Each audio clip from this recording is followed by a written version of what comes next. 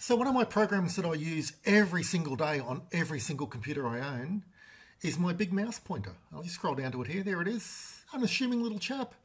There's a screenshot there. That shows you what it looks like on uh, Windows XP. And uh, it's a very unassuming little program. It's only tiny, 430k. And this is actually something that lets you, lets you control your mouse pointer. And um, so if you go down to the title bar and display the window, so this little icon appears in the, top, in the tray bar down the bottom right hand corner, usually where, wherever the Windows tray bar is.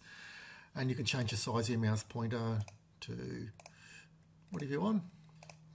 And I generally just leave mine on minuscule or tiny.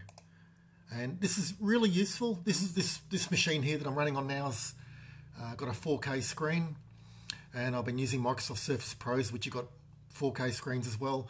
And the little the little mouse pointer, I spend hours hunting for the you know without without my big mouse pointer, I to spend hours hunting for the mouse pointer each day.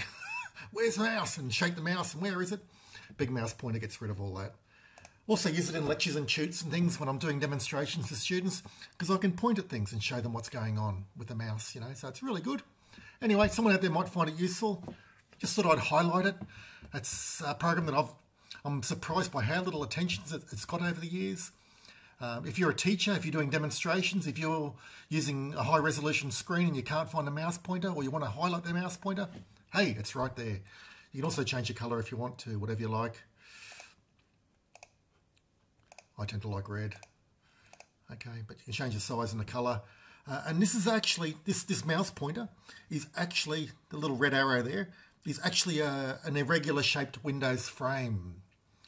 Okay, so it's actually just a Windows frame like, like, like a frame for the application here with the title bar. So it's a title barless Windows frame. And I actually plotted the arrow out on graph paper and then plotted the coordinates into into uh, into my program, into, into my Delphi program, and I'll just scale them up depending on the size of the mouse pointer. So I could add different shape pointers and that fairly easily as well. No one's ever asked for it. Uh, I don't think there's been many downloads of the program over the years. It's been surprising how few downloads. Anyway, maybe someone out there will find it useful. I see a lot of people when, I'm, when they're using their Microsoft Surface Pros and things, shaking the mouse and hunting for the mouse pointer. Just grab my big mouse pointer. It's freeware. It's been virus scanned against 55 or 60 virus checkers with Virus Total. And like all of my software, it's perfectly safe. And like almost all of my software, it's it runs under Windows 95, 98, ME, NT, 2000, XP, Vista, Windows 7, Windows 8, Windows 10, 32-bit, 64-bit. It runs under every flavour of Windows since Windows 95, and I'm running it under Windows 10, 64-bit here. And it still works perfectly, like like like the vast majority, well, like all of my Windows software and, and Java software. Um, it all works perfectly under the, under the latest version of Windows. Anyway, maybe someone out there will find it useful. Thanks for watching. Enjoy.